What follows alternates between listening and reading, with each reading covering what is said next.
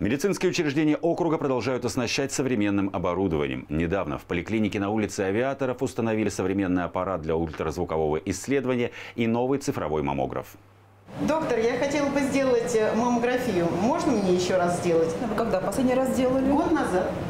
Все правильно. Женщинам нужно делать раз в год маммографии. Теперь провести это медицинское исследование в поликлинике в 115-м квартале стало проще. А ведь еще несколько месяцев назад маммограф располагался в одном кабинете с рентген-аппаратом. Одновременно проводить оба исследования было крайне неудобно.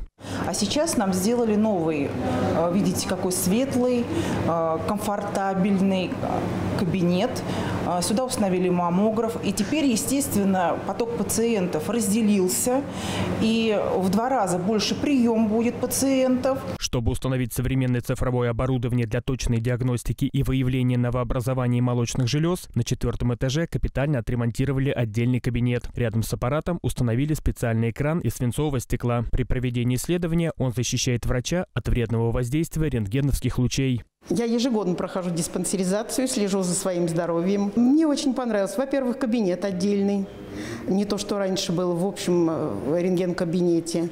Потом свободнее себя чувствуешь уже, и кабинет освещенный очень хорошо. А это кабинет ультразвуковой диагностики. За день здесь проводят исследования десяткам пациентов. Старое оборудование давно себя изжило и требовало замены. Два месяца назад нам поставили новый аппарат УЗИ. Много исследований можно проводить на нем, как внутренних органов, почек, предстательной железы, молочных желез, щитовидной железы, лимфатической системы. Чтобы пройти ультразвуковое исследование или сделать маммографию, нужно обратиться к терапевту. Также направление может дать лечащий врач. Богдан Колесников, Сергей Гвоздев, телеканал ЛРТ.